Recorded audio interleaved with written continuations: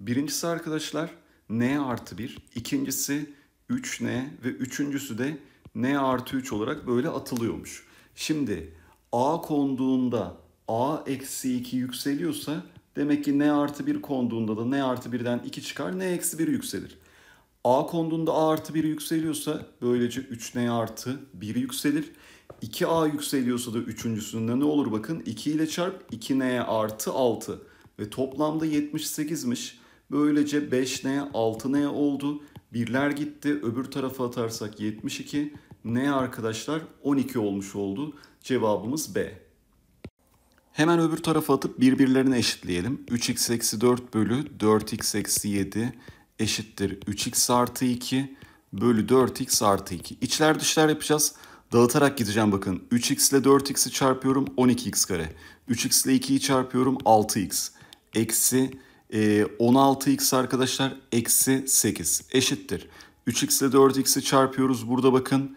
E, yine 12x kare 4x ile 2'yi çarpıyoruz. 8x eksi 7 çarpı 3x'ten eksi 21x Eksi 7 ile 2'nin çarpımından eksi 14. 12x kareler gitti gördüğünüz gibi. 6x eksi 16x eksi 10x eksi 8. Burası da 8x eksi 21x'ten eksi 13x eşittir. Eksi eksi 14. Sol tarafa atalım eksi 14'ü 6 olsun. Sağ tarafa atalım bunu eksi 3x olsun. X de bakın gördüğünüz gibi eksi 2. İşlem sorusu oldu yani cevabımız B şıkkı oldu. Payda eşitlememiz gerekiyor arkadaşlar.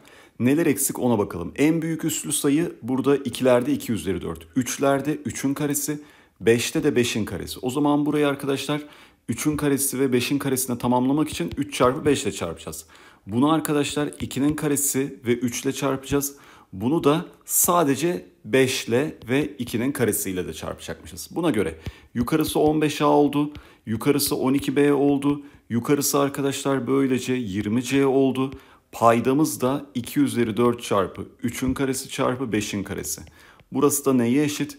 2'nin karesi çarpı 3. O zaman 2 üzeri 4 ile 2 üzeri 2 sadeleşir. 2'nin karesi olur. Burada bir tane 3 arkadaşlar sadeleşir. 3 gelir ve 5'in karesi olur. İçler dışlar çarpımı şu ifadeye komple böyle bir x diyeyim. x eşittir 2'nin karesi 3 çarpı 5'in karesi. Yani 4 çarpı 25 100. 3 ile çarparsak cevabımız 300 A şıkkı oldu. Arkadaşlar burada bir kere taraf tarafa çarpabilirsiniz aslında. Özgürsünüz. Ne olur? A kare, B kare, C kare 18 çarpı 30 çarpı 15 olur. Bunun kare kökünü alırsanız A, B, C pozitif tam sayılar olduğu için olduğu gibi çıkar kök dışına.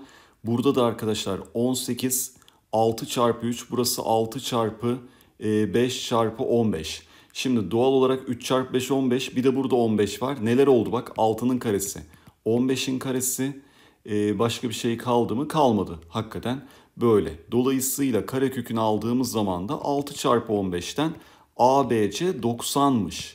ABC 90 olduğuna göre A çarpı C 15'miş. Demek ki B buradan 6'ymış. B 6 ise arkadaşlar A 3'müş.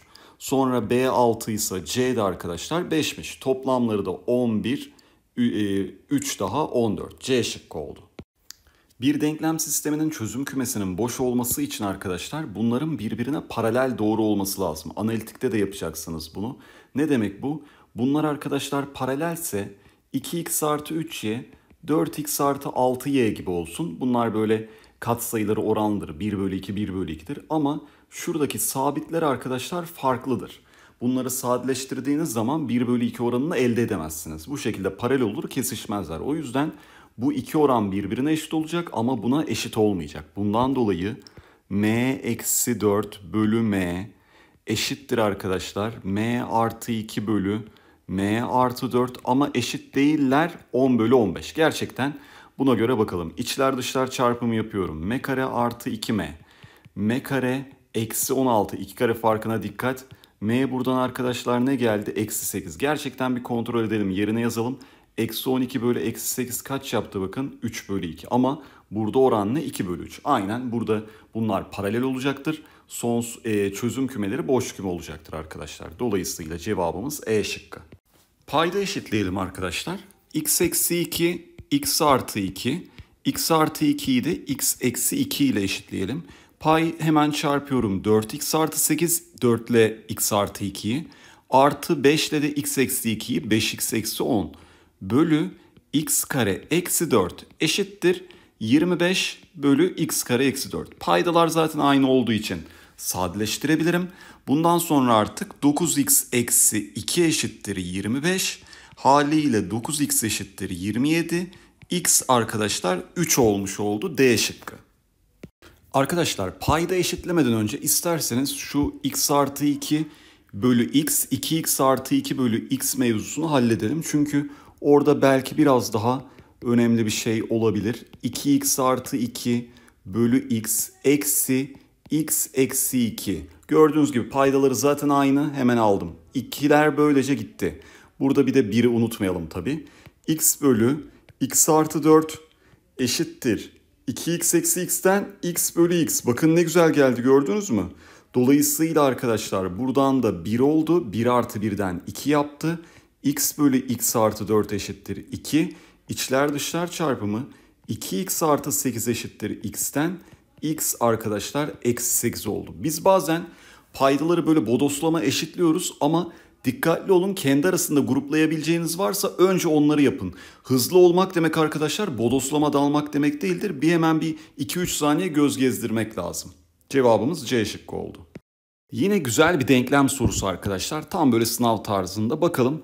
Şimdi hızlı olmamız gerekiyor aynı zamanda. Ben size anlattığım için tabii biraz daha yavaş olabilirim ama işlemleri güzelce yapmak lazım. Toplamları sayıların 29.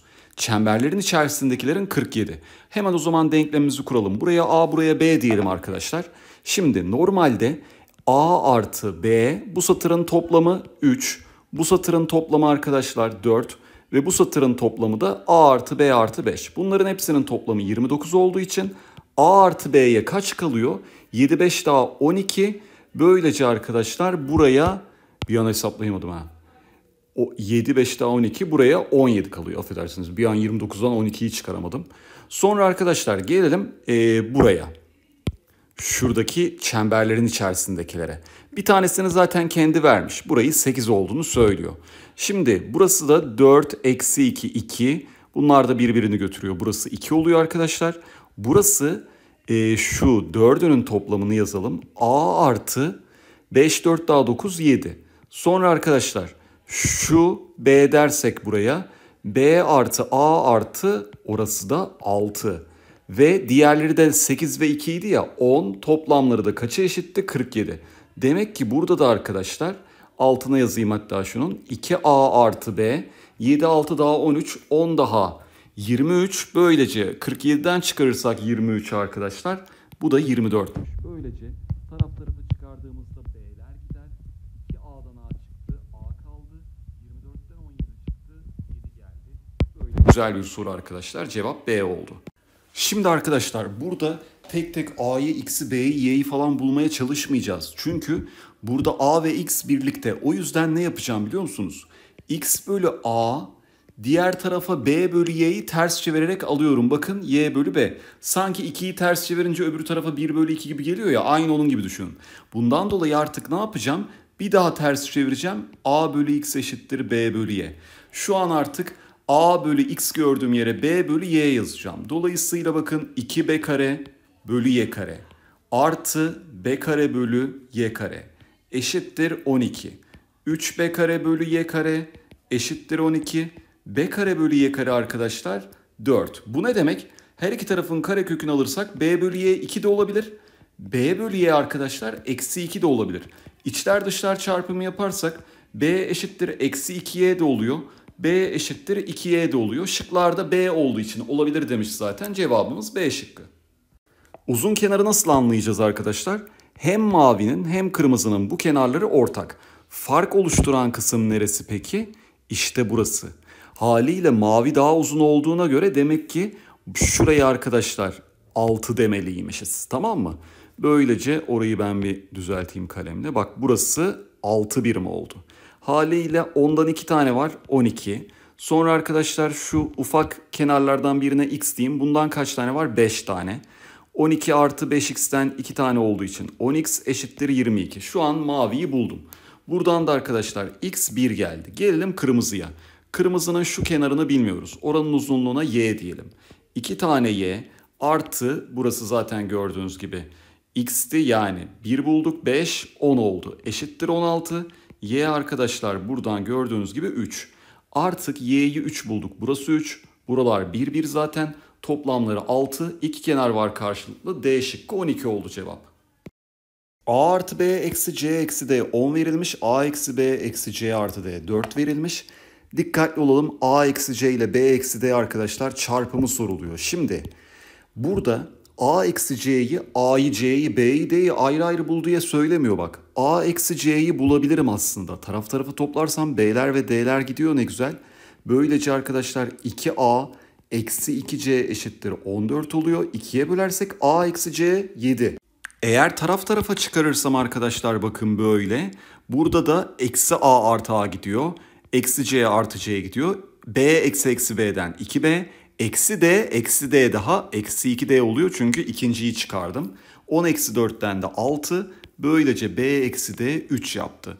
Bunu 3 bulduk, bunu 7 bulmuştuk. Çarpımları 21, D şıkkı. Yan yana olanlar toplanmış 25, 29, 23'e eşit olmuş arkadaşlar ve aynı semboller tabii aynı sayıyı sembolize ediyor. Dolayısıyla iki tane kare artı bir tane çember 25. Sonra arkadaşlar bir tane kare, iki tane çember 29. Burada özgürsünüz. Aşağıyı 2 ile çarpıp böyle k'ları götürürseniz eksi 4ç 1ç daha eksi 3ç yapar. Eksi 38 arkadaşlar e, pardon eksi 58 25 daha eksi 33 yapar. Böylece çemberin içine 11 yazmalıymışız. 11 buraya yazarsak 25 eksi 11'den 14 karede 7 gelir. Burası 7, burası arkadaşlar 11. Dolayısıyla hemen buraya da yazalım. Burası 7, burası 11. Toplamları 23 olması için 5 oldu. Cevap B şıkkı oldu. Şimdi arkadaşlar her bir dairenin içinde kendi yarıçapıyla kendine teğet olanların yarıçaplarının toplamı demiş. Burada sarı daire siyah daireden iki fazlaymış yarıçapı. Bunu bulmak istiyoruz. Buna R diyeyim. Buna da R eksi 2 diyeyim. Böylece R'ye direkt bulmuş olalım harf vererek. Şimdi arkadaşlar 21'i kullanalım 33 kullanalım. Herhalde boşu boşuna vermedi. 21'e teğet olanlar neler? Bunlar. Harflendiriyorum onları. Buraya A diyorum. Buna B diyorum. Şu en ufağı C diyorum. Bu da D olsun. Böylece A artı B artı C artı D kendisi de dahil diyor çünkü toplamı ona dikkat edelim. Bunlar toplamı 21 geldi. 33'e arkadaşlar hepsi teğet gördüğünüz gibi. Şimdi buna A demiştik, buna B demiştik, buna da C demiştik. Bak hepsi teğet olduğu için A e, kendisi zaten var B, sonra C, sonra D, R artı R eksi 2. Hepsinin toplamı da 33. Güzelce burayı 21 bulduğumuz için buraya da 21 yazarız. Bir sürü bilinmeyen bir anda bakın gitti. Artık buraya ne kaldı? 12. 2R eksi 2 eşittir 12. R 7. Bu şekilde arkadaşlar cevabı güzelce yaptık. E oldu. Oyuncakta tuşlar üzerinde yazan sayılar o tuşa basıldığında kaç defa şarkı çalacağını göstermektedir. Mesela 5'e bastığınızda arkadaşlar 5 defa şarkı çalıyormuş. Dolayısıyla şimdi siz burada e, daha doğrusu Eylül bu tuşlardan 4 ve 6'yı seçip bunları rastgele basıyor. Kaç defa bastığı belli değil ayrı ayrı ama toplamda 13 defa bastığı belli. O zaman bakın 4'e kaç defa bastığı belli değil x diyelim. x kere bastı. 6'ya kaç defa bastığı belli değil. Y kere bastı ve toplam kaç elde etti? 66 şarkı. Bu arada en azından toplam basma sayısını biliyoruz 13. Böylece bakın eksi 4 ile genişletirsem böylece 2y eşittir 52 66 14 oldu. Y 7 geldi. X'te arkadaşlar kaç geliyor bakalım buradan? Yerine yazarsak 6 tabi zaten biliyorduk toplamların 13 olduğunu. Demek ki 4'e bastığı kadar yani 6 kere nereye basacak? 7'ye 6 çarpı 7 artı sonra arkadaşlar 6'ya bastığı kadar yani y eşittir 7 nereye basacaktı? 8 numaralıya. Dolayısıyla 8 çarpı 7 42 56 daha 98 tane şarkı çalarmış arkadaşlar. A şıkkı.